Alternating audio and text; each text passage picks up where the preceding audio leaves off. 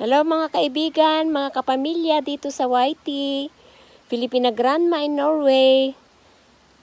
Uh, ang video kong ito ay gusto kong i-share sa inyo dahil uh, alam ko na makakatulong sa atin at makakadagdag ng ating kaalaman lalo na ngayon sa pandemya na to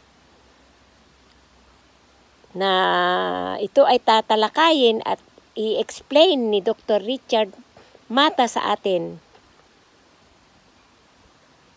na kung isang pasyente ba na may COVID-19 at wala pang simptomas, ito ba ay nakakahawa? Uh, alam ko, interesado rin po kayong malaman tungkol dito. So, Tara na mga kaibigan, makinig tayo at uh, panoorin natin si Dr. Richard Mata. Hello po, Dr. Richard Mata po.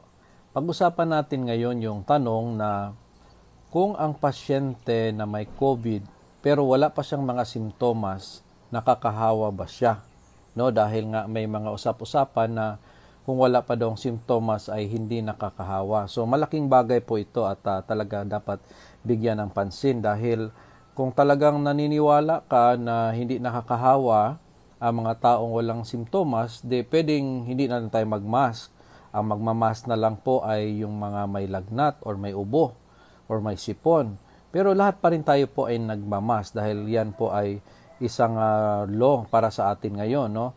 So, I do agree na kahit walang simptomas pa ang ang may COVID-19 ay pwede na po siyang makahawa. Let me explain the reasons, no? Kasi dapat sagutin natin yung tanong. Bakit uh, umabot sa Pilipinas itong COVID-19? Pero yung SARS, yung MERS-CoV, hindi umabot. Uh, ang ginagawa lang dati yung thermoscan, no? Pagdating sa airport, gaganunin ka nung sa lagnat, may lagnat ka, yung may lagnat na yun, yung po yung i- ano i-isolate at sa iimbestigahan no? So so far dahil sa ganung pamaraan uh, hindi dumami ang SARS at ang MERS-CoV. Ngayon gin- ginawa naman natin yan sa COVID-19 mayroon namang thermoscan simula pa lang no? Dumami pa rin sa buong mundo. So ang isang possibility ay nakakahawa na nga siya kahit wala pang ubo, sipon o lagnat that's the one big reason, that's why we believe na uh, bakit dumami ang COVID-19 sa buong mundo dahil nakakahawa siya na wala pang kahit wala pa siyang mga simptomas. That, that's one reason. And then the next is uh, compare natin sa ibang sakit uh, na alam na na ng buong mundo. What is? Uh, what is that? Chickenpox. Uh, alam niyo ba kailan nakakahawa ang chickenpox? Alam ko maraming nag-iisip na kung kailan na gumaling yung chickenpox, doon pa makakahawa siya. Hindi po yan totoo. I-search nyo po sa internet. No? Nakakahawa na ang chickenpox 2 days bago lumabas yung bulutong. Ha? Hindi pa lumabas ang bulutong, nakakahawa na siya. Ibig sabihin, wala pa yung simptomas ng chickenpox, pwede nang makahawa. Pero nung lumabas na yung simptomas, yung mga bulutong, tumaas na yung chance pero nakakahawa na siya, pero mas tumaas. Lalo na yung nagputukan na yung mga bulutong, mas tumataas. Nung nag-crash na siya, yung tuyo na talaga lahat ng mga bulutong ng chickenpox, hindi na siya nakakahawa. Yan po ang sa chickenpox. In other words, ang ang COVID-19 kasi is a virus as well, no? Virus din siya.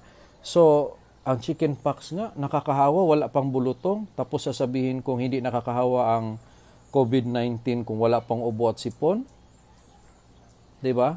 Ang alam lang natin is kulang pa tayo ng kaalaman. Yun lang po. But it doesn't mean dahil kulang pa ang ating research sa sakit na ito, pwede nating sabihin na dahil wala pang ebidensya, so ibig sabihin, hindi nakakahawa ang wala pang ubo. Mali po yon.